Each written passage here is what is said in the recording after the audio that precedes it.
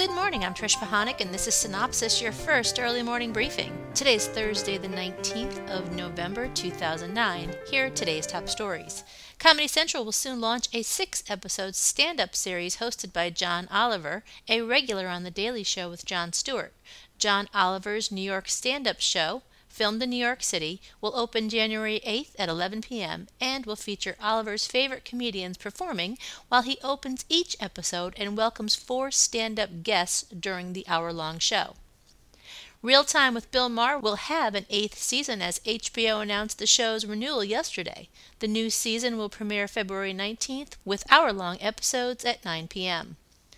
Bio debuts a fourth season of original series I Survived on December 6th at 9 p.m. with 11 new episodes. Now, in each one hour episode, three ordinary people relate their amazing stories of survival in first person accounts. ABC Family moved up the premiere date for two returning drama series. The Secret Life of the American Teenager is back starting January 4th at 8 p.m. to complete its second season with 12 new episodes. Make It or Break It also debuts on January 4th at 9 p.m. Both series were originally scheduled to debut on January 11th. ABC Family will round out a three hour block of original series on Monday nights when it brings back Greek for a third season with 10 new episodes on January 25th at 10 p.m. History series World War II in HD premiered last Sunday over two hours starting at 9 p.m. and attracted 1.1 million adults 25 to 54 and 2.6 million total viewers. Oprah Winfrey's much talked about interview with Sarah Palin this Monday resulted in the Oprah Winfrey Show delivering its highest audience in two years, posted an 8.7 household rating and a 13 share, reported Nielsen and CBS television distribution. Jason Lee of My Name is Earl was tapped for the lead role in the TNT pilot Delta Blues.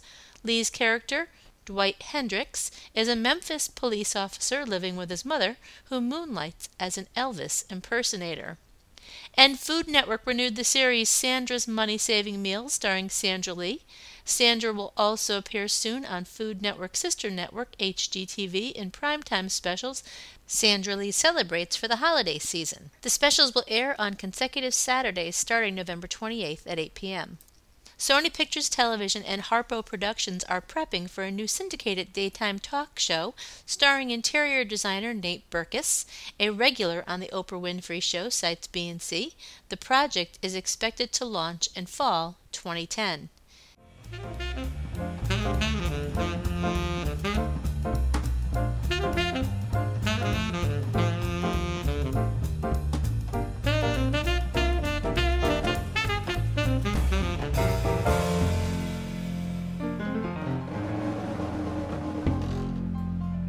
And on that note, that's a wrap for this Thursday. Be sure to check your email for the full printed version of today's Cynopsis with new executive moves and more on ratings, some new classified ads, a few other stories that did not make it into this podcast, and check out tonight's primetime broadcast lineup. This is a Cynopsis Media production in association with 311 West. For Cynthia Turner, who wrote and compiled Cynopsis in Connecticut, I'm Trish Pahanik. I'm gonna have a good day. If I make it myself, I'm gonna have a good day. I don't need no one else. I'm gonna have a good day.